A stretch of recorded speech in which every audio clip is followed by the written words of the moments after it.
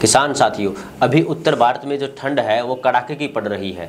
मतलब हमने देखा है आमतौर पे, जो शाम का तापमान है, जो न्यूनतम तापमान है, वो तीन डिग्री, चार डिग्री तक पहुँच रहा है। मतलब इतनी ठंड कई वर्षों बाद पड़ी है और ऐसे में जो हमारे किसान साथी हैं, उनके लिए सबसे बड़ी समस्या हो रही है, जो सब्ज़ी उगाते हैं, उनकी सब्जियों में झुलसा रोग आने की संभावना ज़्यादा है।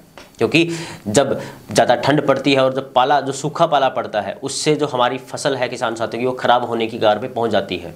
और अगर झुलसा रोग, अगर एक बार आपकी फ़सल के ऊपर लग गया तो आपकी फ़सल कुछ ही दिनों में ठंड के प्रभाव से बिल्कुल ख़त्म हो सकती है, बिल्कुल ख़राब हो सकती है और आपका उत्पादन है वो गिर सकता है, आपको काफ़ी आर्थिक नुकसान हो सकता है। तो ऐसे में बहुत आसान से उपाय हैं जिनको अगर आप लागू करेंगे तो उसके बाद आप उस पाले से बच सकते हैं। आपकी फ़सल है, वो ख़राब होने से बच सकती है। आपकी फ़सल झुलसा रोग की चपेट में नहीं आएगी। उसमें सबसे महत्वपूर्ण या फिर सबसे पहला कदम जो आपको उठाना है, वो उठाना है, आपको समय पर सिंचाई ज़रूर करनी है। अगर आप अपने खेत में समय पर सिंचाई करते हैं, तब आपकी फ़सल है, वो पाले से बचती है, झुलसा रोग है, उससे बचती है। क्योंकि सिंचाई करने के बाद जो खेत का जो तापमान है, वो थोड़ा कंट्रोल हो जाता है, जिससे पाड़ा सीधा आपकी फ़सल को प्रभावित नहीं कर पाता। सबसे पहला कदम आपको उठाना वो ये है कि समय रहते आप नियमित रूप से सिंचाई करते रहें अपने खेत में। आपके खेत के अंदर नमी होनी चाहिए। अगर आपके खेत में नमी होगी तो उस नमी के कारण जो आर्द्रता बनेगी, जो उमस बनेगी, जिससे आपकी जो फ़सल है, वो झुलसा रोग से बचेगी। दूसरा कदम जो आपको उठाना है, जो आपके लिए बहुत महत्वपूर्ण साबित हो सकता है, वो है अपनी फ़सल को पन्नी से ढक दें। मतलब टनल बिछा दें अपनी फ़सल के ऊपर। अगर आप अपनी फ़सल के ऊपर सर्दियों में टनल बिछा देंगे, एक पन्नी आपको लेनी है और उसको, उस पन्नी से आपको अपनी फ़सल को ढक देना है। आप अपनी खेत में छोटी छोटी टनल बिछाइएगा, जिससे जो ठंड का या सर्दी का सीधा प्रकोप या प्रभाव है, वो आपकी फ़सल के ऊपर नहीं पड़ेगा। रात के समय में भी आपकी फ़सल है, वो ठंड से बचेगी। तापमान चाहे चार डिग्री पहुँच जाए या उससे भी कम आए, तब भी आपकी फ़सल है, वो बची रहेगी और आपकी फ़सल खराब नहीं होगी, ठंड की चपेट में नहीं आएगी, झुलसा रोग उसको नहीं लगेगा।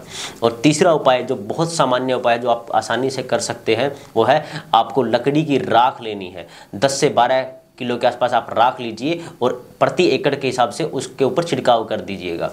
जब आप देखेंगे कि जो राख है, वो आपकी जो फ़सल है आलू की या फिर कोई भी अन्य सब्जियों की फ़सल है, उसके ऊपर एक धीमी पतली लेयर बना देगी ओके जिससे जो ठंड का सीधा प्रभाव है वो आपकी फ़सल के ऊपर नहीं पड़ेगा और आपकी फ़सल खराब भी नहीं होगी। ये तीन ऐसे उपाय हैं जिनको आप करके बहुत आसानी से अपनी फ़सल को खराब होने से बचा सकते हैं, आर्थिक नुकसान से बच सकते हैं। आपको इस बात का ज़रूर ध्यान रखना है कि समय रहते काम कीजिएगा। ये कदम उठाइए, क्योंकि आने वाले कुछ दिनों तक ठंड का प्रभाव ऐसे ही रहेगा और जो तापमान है वो तीन चार डिग्री तक सामान्य रात के समय में रहेगा, जिससे आपकी फ़सल खराब होने की गुंजाइश है वो ज़्यादा होगी। लेकिन अगर आप ये तीन कदम उठाते हैं, नियमित रूप से सिंचाई करते हैं, अपनी फ़सल को पन्नी से अगर ढक देते हैं और अगर पन्नी से ना ढक पाएँ तो अपनी फ़सल के ऊपर आप राख का छिड़काव करते हैं, तब आपकी फ़सल खराब होने से बचेगी, झुलसा रोग से बचेगी और आपको आर्थिक नुकसान नहीं होगा।